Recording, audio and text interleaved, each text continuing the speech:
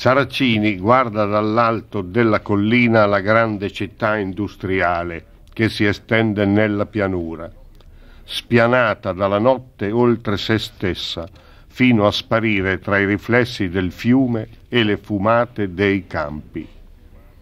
Egli è sereno e gode soddisfatto di quella vista e del generale silenzio.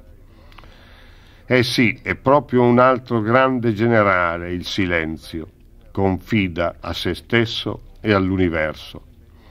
Tutto lo spazio intorno, con il fiato trattenuto e cauto ad ogni tonfo, sembra capirlo ed ubbidirgli, riconoscergli con premura di essere quasi ricco, quasi innamorato, ancora giovane e forte, il primo nella sua città esemplare e anche nella regione, il più intelligente, equilibrato e capace dei direttori della sua gloriosa azienda.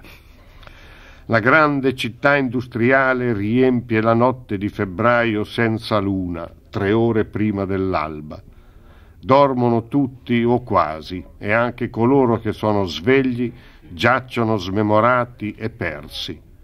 Fermi uomini, animali, edifici, perfino le vie, i quartieri, i prati in fondo, le ultime periferie ancora fuori dalla città, i campi agricoli intorno ai fossati e alle sponde del fiume.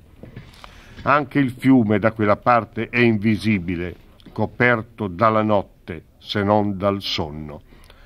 Buie anche le grandi antenne delle radiocomunicazioni e dei radar della collina.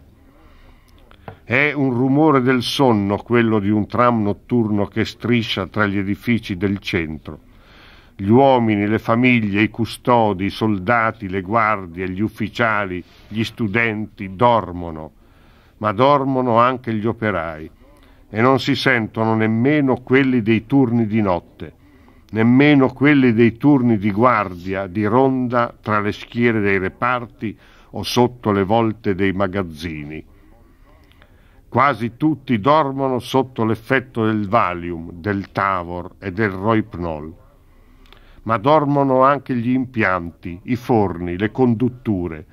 Dormono i nastri trasportatori delle scale mobili che depositano le pozioni chimiche nelle vasche della verniciatura o nei lavelli delle tempere. Dorme la stazione ferroviaria, dormono anche le farmacie notturne, le porte e le anticamere del pronto soccorso, dormono le banche, gli sportelli, le scrivanie, i cassetti, le poste pneumatiche, le grandi casseforti, i locali blindati, dormono l'oro, l'argento, i titoli industriali, dormono le cambiali, i certificati immobiliari, i buoni del tesoro, dormono i garzoni con le mani sul grembiule o dentro i sacchi di segatura. Dormono le prostitute, i ladri, gli sfruttatori, le bande organizzate, i sardi e i calabresi. Dormono i preti, i poeti, gli editori, i giornalisti, dormono gli intellettuali. Quanto caffè, alcol, fumo tra quelle ore. E mentre tutti dormono, il valore aumenta. Si accumula secondo per secondo all'aperto o dentro gli edifici. Dormono i calcolatori ma non perdono il conto nei loro programmi. È un problema di ordine, efficienza, produzione. Saracini confida negli psicofarmaci e nei calcolatori.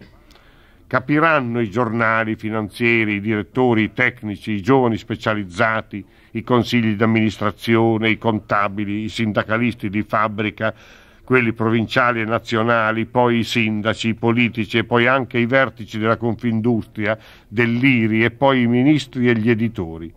Tutti dovranno capire il primato sociale, culturale, scientifico dell'industria e lo stesso capitale dovrà sottomettersi e seguirne le ragioni. Il capitale verrà rinnovato e regolato dall'industria. Il midollo spinale dei nastri crepita, memoria e calcolo, come nel sonno il sangue circola, l'inconscio dilaga, il sogno si versa, il cervello si alimenta di nuovi scatti per i pensieri nuovi di domani. Già al primo risveglio sul lavandino, sulla tazza o ancora prima sul sapore del cuscino, cresce spinto dalla vita di tutto e di tutti il corpo e il valore del capitale Mai un istante, anche nelle più cupe notti, cessa di crescere e prevalere. Si sposta, si assesta, recupera forze, distribuisce risorse, immagina e progetta nuove strategie, delinea nuovi organi e nuove facoltà